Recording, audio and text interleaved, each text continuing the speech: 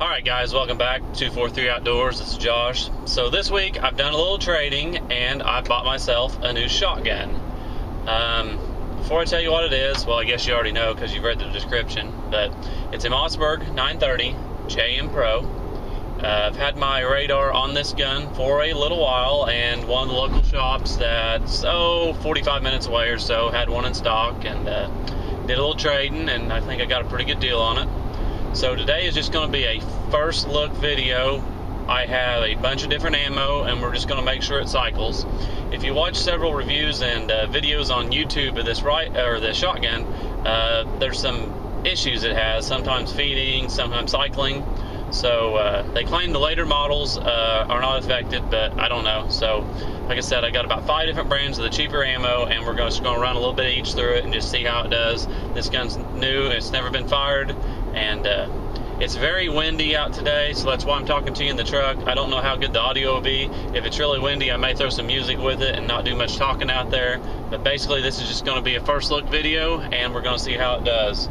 I have had the opportunity to meet Jerry Miculek before uh, a couple years ago at NRA convention. I believe it was Nashville. Uh, I got to meet him. I got his autograph. Real nice guy. Uh, just an amazing shooter. And uh, ever since I've seen this gun, I've really wanted it. Uh, with it being a Mossberg, I'm no stranger to Mossbergs. I've been shooting them for over 20 years. Uh, I believe the first gun I ever bought on my own once I turned 18 was my Mossberg 500, and it has buku rounds through it. Um, we're getting out here at the range right now, so uh, I'm gonna get up, get set up, and uh, let's see what happens. There's a look on how windy it is today. That grass is uh, really moving out there, so I'm gonna try to set the truck up where it'll block the wind off the camera a little bit. And like I said, this is gonna kind of be a quick video. I think I have five or six different kinds of ammo, and I may not even run five or ten rounds of each one. So uh, let's go.